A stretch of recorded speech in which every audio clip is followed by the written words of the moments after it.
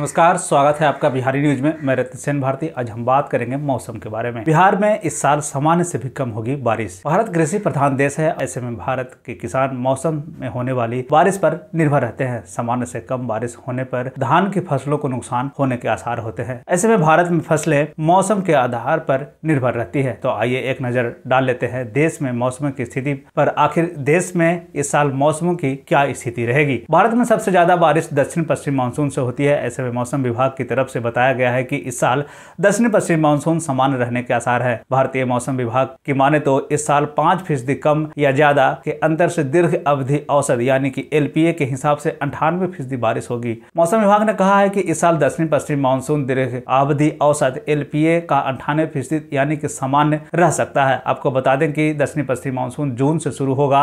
मौसम विभाग के पूर्वानुमान में बारिश में पाँच फ़ीसदी कमी और बेसी हो सकती है। देश में मानसून का दीर्घावधि औसत 88 सेंटीमीटर है। अगर बारिश इसकी छियानवे से 104 फ़ीसदी के बीच होती है तो यह समान औसत बारिश माना जाएगा। देश में इस साल होने वाली बारिश को लेकर भू विज्ञान मंत्रालय के सचिव एम राजीवन ने मीडिया को संबोधित करते हुए कहा कि सभी लोगों के लिए अच्छी खबर है कि इस साल मानसून समान रहने की संभावना है।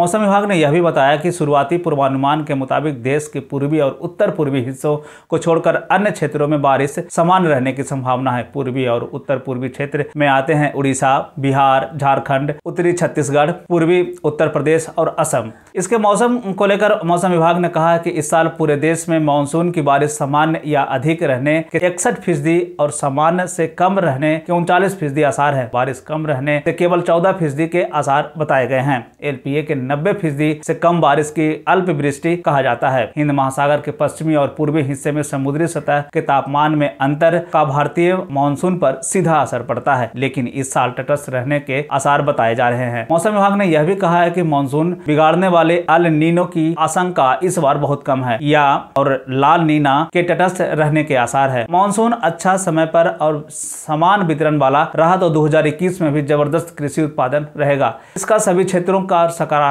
असर होगा और कोविड 19 संक्रमण की दूसरी लहर से जूझ रही अर्थव्यवस्था की चिंता कुछ कम होगी। मौसम विभाग ने यह भी कहा है कि बारिश बारिश वाले इलाके में आएँगे हिमाचल प्रदेश, उत्तराखंड, पश्चिमी उत्तर प्रदेश, मध्य प्रदेश, राजस्थान, महाराष्ट्र, गुजरात, दक्षिणी छत्तीसगढ़, कर्नाटक, तेलंगाना, बिहार, पूर्वी उत्तर प्रदेश, झारखंड, पश्चिम बंगाल, उड़ीसा, उत्तरी छत्तीसगढ़, आंध्र प्रदेश, तमिलनाडु, जम्मू कश्मीर, लद्दाख और पूर्वोत्तर के राज्यों में सामान्य से कम बारिश होने की बात कही गई है।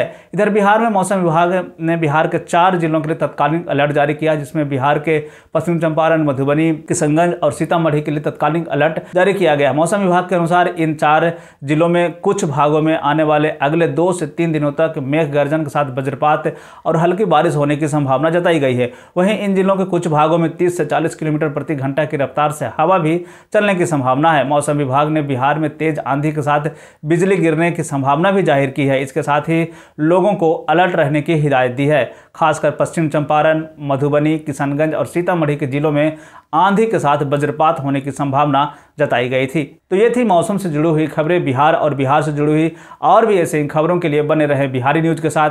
मुझे दीजिए इजाज़त। धन्यवाद।